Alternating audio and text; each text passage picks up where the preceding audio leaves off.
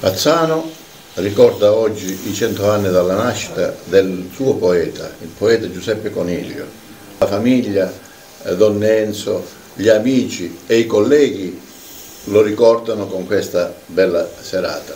Abbiamo voluto fare il ricordo della nascita del poeta insieme alle istituzioni e insieme alle associazioni, proprio come consulta delle associazioni di Pazzano riteniamo che questi momenti siano dei momenti essenziali per la vita della comunità.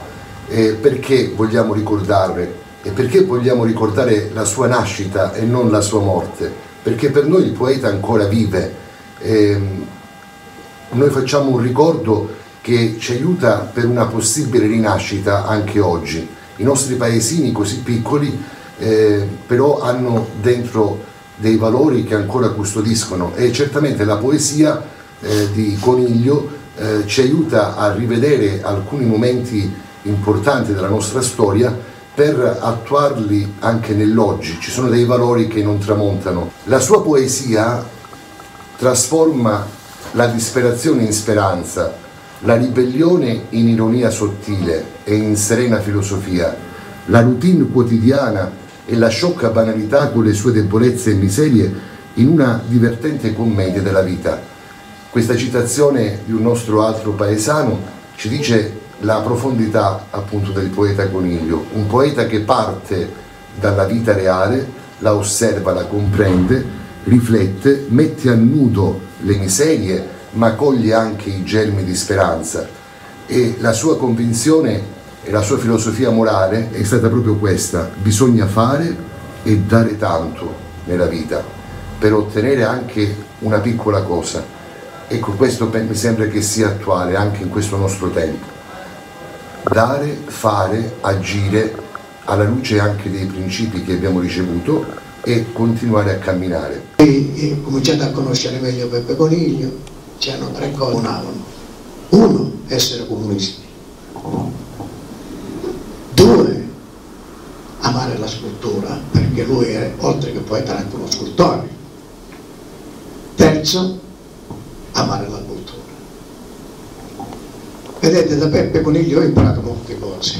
Prima di tutto, la semplicità un poeta che ha, ha lasciato oh, diciamo una strada da che noi dobbiamo seguire sia come amministrazione comunale sia come cittadini di Pazzano.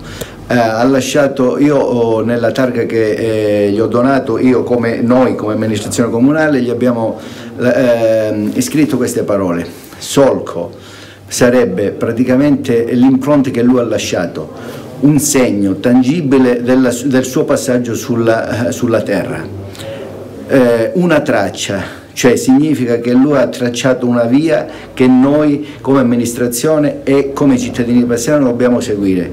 Terzo, una vita, cioè significa un qualcosa che lui con la sua intuizione, con la sua vocazione, con, lo, con la sua libera eh, volontà di, di, fare le cose, eh, sempre nell'ambito cittadino, eh, era avanti anni luce rispetto a, a, a, quello che si doveva fare, cioè aveva delle intuizioni grandissime che poi si sono verificate nel lungo periodo. A noi ci ha insegnato tanto, insomma, ci, ci ha fatto riscoprire il dialetto, tante parole che magari i giovani le dimenticano, ma lui ce li marcava, ci spiegava anche il significato. Quindi educava le persone a, alla a lingua dialettale, eh. perché giustamente i giovani di oggi i dialetti non è che eh, cercano di dimenticare, allora una persona così eh, indica la via, la strada per eh, uno rimane sul, sulle radici del proprio paese. Ci scambiavamo idee sul paese, discutevamo di letteratura. Ricordo in una memorabile serata a Colopezzati in provincia, sopra Cariati, un giorno di Santa Lucia, lui ci deliziò con una bella sequenza di poesia, una serata che ancora me la ricordo degli amici di quella zona. Giuseppe Coniglio mise lunghe e profonde e forti radici e succhiò dal seno della provvida madre terra gli alimenti per vivere. Rosa, tu mi ricordi i miei tempi giovani, l'antico amore, l'ombra del tormento, che dopo con tuo cuore che consiento, coperte di ginestra rossa e blu, non gramofoni sopra che si sentia che parlava una certa, Mario. Ho pianto anch'io. Con le proprie poesie quei grandi valori di vita dove lui, da protagonista, dava esempio di saggezza, di bontà, di riconoscenza. Attento osservatore di un mondo che stava cambiando, dove l'uomo calpestava rispetto, buonsenso e tradizioni. Ringrazio chiaramente gli illustri ospiti che ci hanno regalato queste emozioni veramente profonde.